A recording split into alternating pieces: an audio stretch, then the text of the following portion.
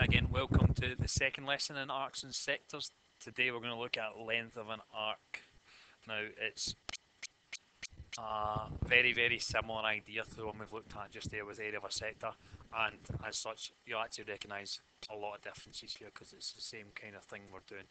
So as a reminder, the area of the sector we looked at, the sector was that whole shape there a whole piece of pie that's been taken out. Now the arc we're looking for is just a bit around the edge. So before, this will work as a bit of a recap, when we were looking for sector, uh, sector area, we were looking for a little fraction of the area of a circle. Now that's just a recap from last video, but messy. Now what we are looking at now it's not a little bit of the area, but a little bit of the circumference. So that there, that bit going round the outside, isn't a bit of the area, it's a little bit of that whole way around. So if you're looking for the arc length, it's going to still be the same idea. We're still looking for that fraction, the same way we look for the fraction of the area, but it's not of pi r squared because that's the area of a circle. We're looking for a fraction of the circumference, which we know get by doing pi times d, where d is the diameter. Now, it's very, very similar idea. You can see that it almost looks almost exactly the same, which is why it makes it a little bit tricky, but we have to be right on top of what we're finding. So there, page one of your notes, your arc length is equal to the fraction that you have multiplied by pi d. So a little part of the circumference. Okay, and I'll put just a you know, this is awful similar to what I've just done, but just for your benefit of your notes. Okay, now we'll do the same again, we'll do an example, maybe two, I can't remember. Yeah, two examples, and then I'll leave you a couple as well. So, very similar example to last time, but this time we're not looking for the, the sector, we're looking for the length of the arc. So arc length is equal to the fraction that I have multiplied by pi d. So the angle I have is 72 at 360, or the fraction I have, and I'm multiplying that by pi times the diameter. Okay, so that's 6 centimetres. It goes from the edge of, the, of this circle. We've taken a piece out to the middle.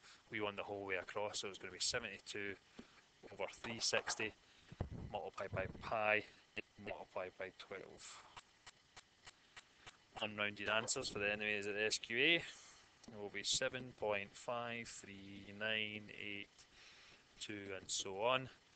And let's do it to three sig figs. There's one there's two there's three. Well looking at the next one. We'll round us up. So 7.54 and because this is just a length it's the length of the arc we're just talking about basic centimeters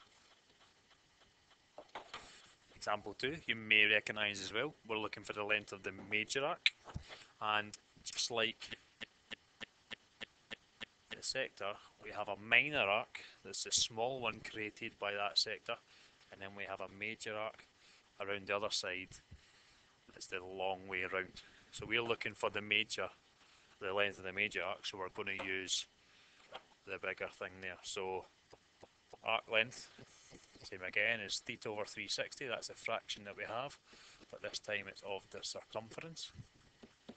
Here we know from last video that theta is not 110 it's 360 subtract 110 so 250 and we can use that so 250 over 360 times pi now the diameter. That 8.3 only goes to the middle. We want the diameter which is the whole way across. So it's going to be 16.6 I'm not squaring anything because it's just pi d. And we type in our calculator, we get the big minging answer 36.21558 and so on. 3 sig figs, 1, 2, 3, 1 will round down, so it's going to be 36.2 and it's meters this time. Okay, so very similar to last time, similar idea. You just have to make sure if you're finding the arc length, you're using part of the circumference. So it'll be pi d. Things on there. And the same for if you find a sector area, it's pi r squared, so be sure of the difference. You'll get the practice for that in class. There's two examples for you. I'll maybe pause it now and I'll put the answer, answers up in a wee second. There you go. And similar to last time, if you're not getting 377, make sure you're using the right angle. Okay, thank you very much. Cheerio. Cheerio.